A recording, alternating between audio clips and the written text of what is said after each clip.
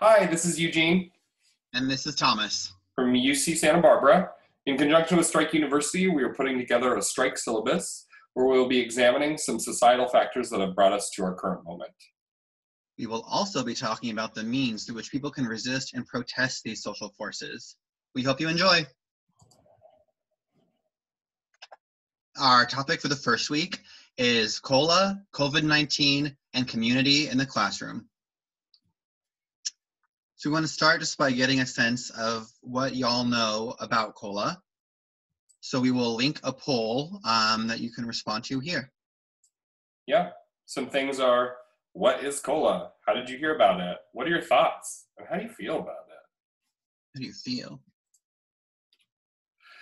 Uh, some background, uh, because we recognize that people are coming to this in a lot of different places. So COLA stands for Cost of Living Adjustment, uh, and that this really comes out of uh, a definition by the U.S. Department of Housing and Urban Development that defines being rent burden as paying 30% of your monthly income to uh, rent, and that if you pay over 50%, you're severely rent burdened.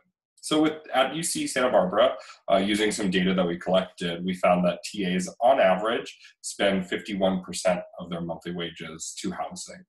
Um, so this movement, the COLA movement, uh, really is centered around this cost of living adjustment, and that these are these the strikes that have been going on um, at starting at UC Santa Cruz, but really uh, going throughout the entire UC and beyond um, are because of these longer standing structural issues. Um, so when we think about the university, we want to really emphasize that it is a, a profit driven enterprise, that the logics of the university are wrapped up in uh, logics of business, and that it is about um, a, bo- a bottom line and profit, and that education is the product. And that's really how it's thought about.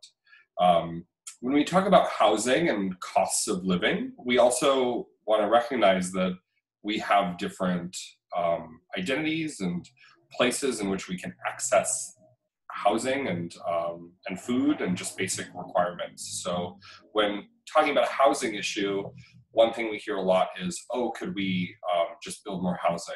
And that that decision to build more housing uh, ends up bulldozing over low-income people, people of color, displacing large groups of people that don't have access to the types of power and privilege that other people might be who are at universities or talking about displacing people. But wait, Eugene, can you tell me about the history of COLA? Oh, I definitely could, Thomas. Thanks for asking. So, in this broader movement, we talk, we're talking about UC Santa Cruz, where this started. That our housing con or our um, as graduate student workers, we have a union contract that um, was negotiated by our union two years ago. And Santa Cruz is largely uh, not in favor of this contract. That, in fact, at their campus, at least 85% of graduate student workers voted no to it. But because our union is UC wide, it passed. Um, and so for two years, they've been protesting this. And it really coalesced at the end of fall quarter uh, in 2019 in a grading strike. So about 200 to 300 TAs withheld winter or uh, yeah fall quarter grades. Um, and as you can see here, they had um, after withholding that, they were threatened with dismissal, with firing. Um, that and uh, at, at on uh, February um, 10th when they started being on strike. So um, this is week one of spring quarter for us, and so they've been on strike for seven weeks. Uh, about 85 TAs were withholding grades at that time. Um, so at UC Santa Cruz, the very first day of their strike, um, going on a full work stoppage, uh, the uh, UCOP, UC Office of the President, ordered uh, police in full riot gear to appear at their picket line um, at the tune of $300,000 a day. And they have remained there since, uh, uh, well, until all of this COVID fun stuff has been happening. Uh, so uh, while at the picket line, they charged the picket line. They uh, they injured students. They arrested uh, 17 to 18 students on the second or third day. Um, they have really been thinking that these striking TAs are enemies of this the UC. This is how the language that they use, um, and that other places in the UC. Um, like at UC Irvine, the poli- uh, a black woman, an alumnus, was arrested for being black, essentially. Um, she was had no connection to the cola movement, but because police were so in, like mechanized to be seeing cola protesters as enemies, this is what happened. So I like to highlight the police violence because I think for us graduate workers, this is just something that um, has galvanized us into the movement. Um, and at Santa Barbara, our strike started on uh, February 27th, so we've been on strike for a month now, um, a full work stoppage, and we're withholding uh, grades for the winter quarter, which our deadline is tomorrow, the 31st. So we'll see what our numbers are after that. We've moved to a digital picket line. We used to have this like lovely picket line with lots of rallies and, and music and congregating that has moved digitally. So people will be uh, adhering to that picket line in different ways as we go on. Thomas, can you talk about COVID? What's going on with that? Yeah, well, COLA was kind of a big movement um, that was causing disruption and drawing attention on campus. But since the sort of reality of COVID 19 has become something we have to deal with in the US, things have shifted everywhere. Um, COVID 19 has changed the world and the university learning landscape specifically. Um, as far as it's relevant to us. So, as a lot of you are experiencing, students are having to move off campus to avoid being in sort of in large crowds and risking infection. Um, there's skyrocketing levels of unemployment or underemployment. Last week, I think it was like 3.3 million unemployment claims were filed. Um, there's been a run on groceries and basic necessities, which make normal groceries hard to find. And even frankly, when they're easy to find, it's like a psychic nightmare to have to go to the store just not knowing what you're going to be confronting. Um, and so, amidst this very uh, chaotic and crisis uh, environment, the cola, the UC cola movement has responded, um, and UC by sort of shifting or adding new tools to the toolkit of how we're striking. So UC Irvine, there's something called the social welfare strike, which um, involves mutual aid efforts, teach-ins, and other things of that nature. Um, and it had not been something COLA was doing previous to UC Irvine calling that.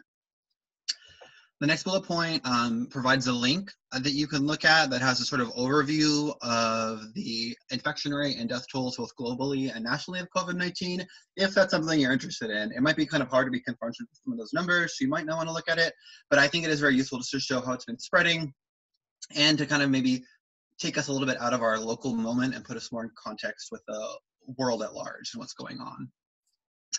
And so as COVID is disrupting so many things in daily life, it's also in fact impacting your education, which is evident right now because you're either taking Zoom classes or listening to this recording, which was made on Zoom, which is probably something you don't usually do. Um, so then the question becomes, other than just COVID in itself, how did we get to the class Zoom, a very hilarious um, neologism that Eugene and I came up with. Um, so the global health pandemic of COVID-19 is unveiling a lot of the social injustices and kind of oppressive systems that have always existed in society. Um, but specifically, as it's relevant to us right now, it's also intersecting in a lot of ways the project of the for profit university, what you could also call the neoliberal university. And so, but neoliberalism is the push to privatize previously state or publicly owned sectors. It's also known as free market capitalism or efforts towards deregulation in general. Another way to think about it is that it's uh, the attempt to structure, or sorry, the movement to structure as much of society on market principles as possible. So you might, in that, to that effect, you might recall that capitalism creates crises that, in its attempts to solve them, further entrench capitalist elites and create greater crises in the future. And one very kind of immediate example of this is last week the EPA lifted regulations on emissions under the kind of umbrella of co- uh, coronavirus related issues. So they're allowing more pollution to happen as a kind of solution or workaround to COVID, which of course is just going to create more problems for our environment and for us. But more specifically in this context, that was really gross lip smack. I apologize. But um, in this context, the neoliberal university's response to COVID-19 has included a couple of uh, measures, which has involved a unilateral move of online instruction uh, to online instruction without any kind of reevaluation of what that education is worth a lack of centralized training for instructors who are facing new digital learning environments, and a proliferation of private educational services that are being presented as supplements to traditional instructor crafted instruction. So just for some behind the curtain information, a lot of textbook companies have been sending emails to instructors offering access to free online modules, free online lessons, free online textbooks, which seems really great. And they're doing it as a kind of charitable thing right now, but can be a way to replace instructor created content with corporate created content and can also be something that universities may look at as a cost cutting measure in the future. They may think if we have all this textbook stuff, why would we be paying instructors? Why would we be paying TAs to do this stuff that's already available online? Yeah. Some textbook companies. We're also on Zoom, which is a company that is not a school. Zoom is not a school, but here we are learning on it. um, yeah, remember that uh, in thinking about profits, uh, one thing that capitalism does is that it largely replaces people. So Thomas and I are not here to say that online instruction is not a good thing. In a lot of ways, it is. But um, but the way that it gets used in capitalism is to make people redundant to robots and now to a digital learning environment and without removing our labor. So the ideal world would be that we could be redundant in productive ways where we could have more leisure time. But that doesn't happen. Instead we have to work harder find new uh, places to gain employment um, and in the case of the university if we are made redundant by recordings, you as students will be paying for uh, past knowledge that is not current. You won't be interfacing with like real people. You'll just be seeing recordings and paying exorbitant amount of money uh, for a less valuable experience. Um, so for the purposes of this, so we're coming kind of back, we went really global talking about coronavirus, COVID 19, and, and now we're going back to what does this mean in our classroom? So maybe you are in uh, our classroom in spring 20, 2020.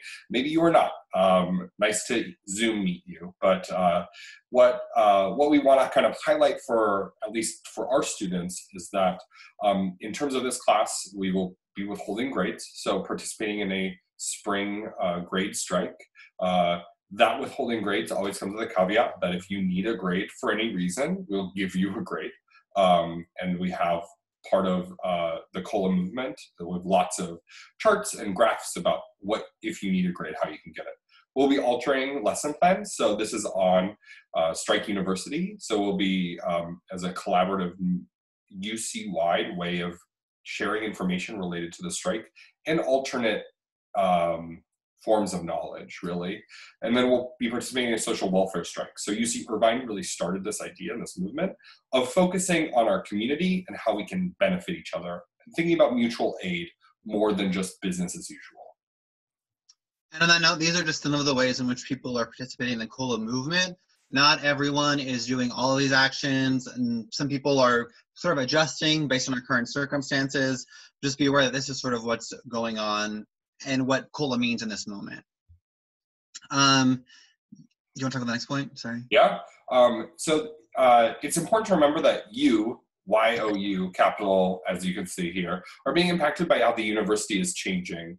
Um, so we would like to echo that the like online learning is uh, substandard in this moment, just because your instructors will not have had time to fully flesh out what these online platforms mean you will probably have lots of confusing Zoom meetings where people don't know where buttons are or how to share screens.